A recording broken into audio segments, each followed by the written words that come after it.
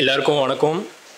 நான் இங்கே இருக்கேன் இந்த எக்ஸாம் கிளியர் பண்ணியிருக்கேன் அப்படின்னா ஐ கேன் மோட்டிவேட் பண்ண பேரண்ட்ஸ் ஃபேமிலி அப்புறம் அகாடமி எல்லாருக்கும் என்னோட தேங்க்யூ தெரிவிச்சு விரும்புகிறேன் எக்ஸாம் லாஸ்ட் இயரும் நான் அட்டன் பண்ணேன். அதே மாதிரி தான் கிளாஸஸ் ஜாயின் பண்ணேன் டூ மந்த்ஸ் கிளாஸ் அட்டன் பண்ணேன். லாஸ்ட் டைம் இதே மாதிரி எனக்கு எக்ஸாம்ஸ் கிளியர் ஆச்சு அடுத்து ஃபிசிக்கல் அப்போ தான் ஃபஸ்ட் டைம் ஃபிசிக்கல் கிரவுண்டுக்கு போகிறேன் ரோப் அப்போ தான் டச் பண்ணுறேன் எதுவுமே வரல. ரோப் வரல லாங் ஜம்ப் வரல thousand five hundred metre running வரல.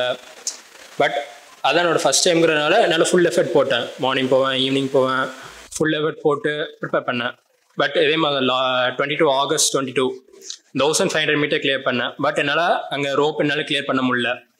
ஃபஸ்ட் முடிச்சுட்டு எங்கள் அம்மா அப்பாட்ட சொல்கிறேன் இந்த மாதிரி நடந்துட்டுமா? கிளியர் பண்ண முடியல அப்படின்ட்டு. அப்போ அவங்க பரவாயில்ல அடுத்துட்டு வரும்போது ட்ரை பண்ணு. அது மட்டும் தான் சொன்னாங்க. ஸோ அதையும் அப்படிதான். நீங்கள் தோக்குறீங்க அப்படின்னா அது அது அன்னையோட முடிஞ்சது. அடுத்து என்ன பண்ணுறீங்க அடுத்து என்ன ஸ்டெப் அப்படிதான். இங்கே தூத்துக்குடிக்கு வந்தேன். அகைன் ஒரு நாள் பிரேக் எடுத்துக்கிட்டேன். அகைன் மறுபடியும் கிரவுண்டில் போய் என்னோட ப்ராக்டிஸ் கண்டினியூ பண்ணேன். ப- படிக்கிறத அகைன் அப்படியே கண்டினியூ பண்ணேன்.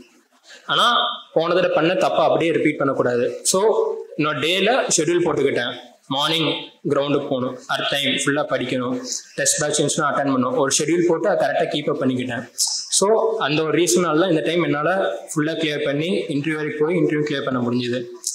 ஸோ தேங்க்யூ அண்ட் கிளம்பி இப்போ எனக்கு இந்த ஆப்பர்ச்சுனிட்டி கொடுத்த சுரேஷ் அகாடமிக்கு என்னோட தேங்க்யூ